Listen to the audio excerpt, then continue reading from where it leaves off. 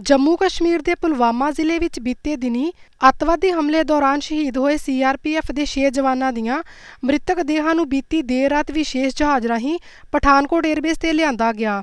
ਇੱਥੋਂ ਲੋਕਲ ਪ੍ਰਸ਼ਾਸਨ ਅਤੇ ਫੌਜ ਦੀ ਦੇਖਰੇਖ ਹੇਠ ਜਵਾਨਾਂ ਦੀਆਂ ਮ੍ਰਿਤਕ ਦੇਹਾਂ ਨੂੰ ਉਨ੍ਹਾਂ ਦੇ ਘਰਾਂ ਵੱਲ ਰਵਾਨਾ ਕਰ ਦਿੱਤਾ ਗਿਆ। ਇਨ੍ਹਾਂ ਵਿੱਚ ਚਾਰ ਪੰਜਾਬ ਦੇ, ਇੱਕ ਹਿਮਾਚਲ ਪ੍ਰਦੇਸ਼ ਅਤੇ ਇੱਕ ਜੰਮੂ ਦਾ ਜਵਾਨ ਸ਼ਾਮਲ ਹਨ।